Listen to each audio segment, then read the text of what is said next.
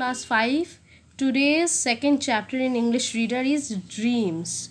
It's a poem, Dreams, that we see at night while sleeping. So that dreams we are going to read now. This poem is written by C.F. Alexander, means Cecil Frances Alexander. Okay.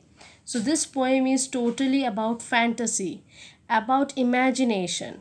So let's begin beyond beyond the mountain line beyond means far off.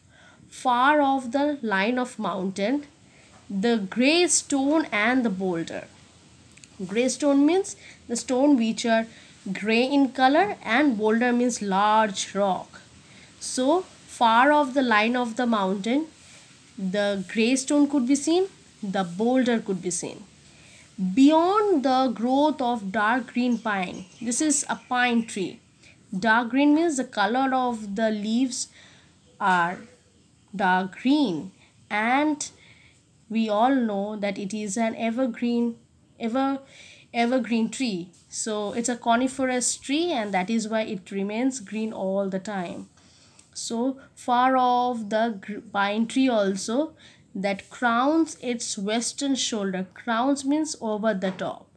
Western shoulder means on the western side on the western side it covers the top. So what happens now? Far off the line of the mountain the gray stone and the boulder could be seen.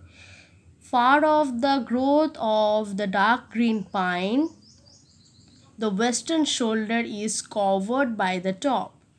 There lies that fairy land of mine. Lies means to have okay and fairyland means a magical beauty land.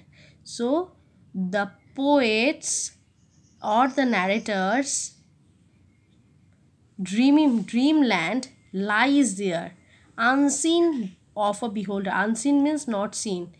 Beholder means those who sees things. So the beholder has also not seen the fairyland of the narrator or of the poet its fruits are all like rubies rare. Rubies are red stone, red precious stone, and those are really very rare, means very, very un, uncommon, which could not be seen very much. So the fruits of that fairy lands are looks like red rubies its streams are clear like grass, glasses. Streams means the small pond, small waterfall like things. So it is total looks like glasses means it's totally transparent, clean water. There are golden castles hanging here. It looks that the castles, castles means beautiful, strong, large building so it's of golden gold. It's made up of gold so that castles looks like it is hanging in the air. And purple grapes in masses. Purple grapes grapes are purple in color. So they are in masses. Masses means in huge amount. The grapes are too much bunch of grapes. Many bunch of purple grapes. And noble knights and ladies fair noble knight means knight means what? Knight means the men who are belonging from a high class family. Those who are trained to fight on the horseback. And ladies fair the beautiful fair ladies. So the noble knights and the ladies fair and the fair ladies come riding down the passes. So the poet could see the knights the well-known knights and the fair ladies.